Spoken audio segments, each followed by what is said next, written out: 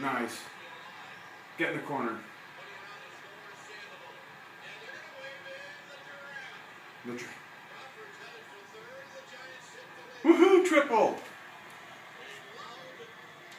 Alright, who can I high five around?